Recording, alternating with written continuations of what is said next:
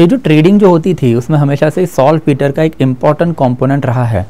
Salt Peter exactly है क्या? तो ये मिर्ची कूट है। एंड मिर्ची कूट हम लोगों को इंडिया में ट्रेडिशनल लेवल पे ही दिखाई देता है। आपने कभी कभी महाभारत भी देखा होगा कि यहाँ से किसी ने एक बाँध चलाया एंड दर आफ्टर बीच हवा में उसको आग लग गई। तो ये एग्जैक्टली होता कैसे था? एंशियंट टाइम में सॉल्ट पीटर में ये बाँध जो पहले डुबोए जाते थे, उसको आग लगाई जाती थी। हवा में फेंकने के बाद बीच हवा में ही। इसके ऊपर एक बेसिकली जो है छोटा सा धमाका छोटा सा एक स्पार्क निकलता था, जिसकी वजह से वो आग भड़केगी एंड दर आफ्टर नीचे जाके लगेगी। तो ये saltpetre is an essential ingredient of the gunpowder and that's a Britisher जो है along with indigo saltpetre में हमेशा से इंटरेस्टेड थे एंड सॉल्ट पीटर जो है one of the significant export item India का हमेशा से ही रहा है।